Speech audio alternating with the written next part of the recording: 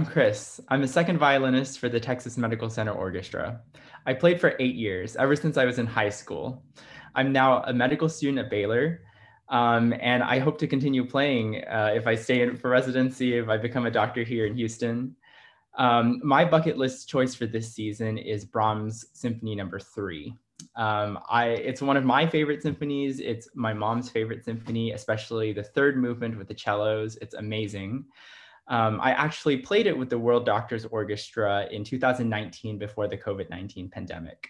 Um, but I was really sad that I haven't been able to play it with the TMCO yet. And I really hope that we can make it happen.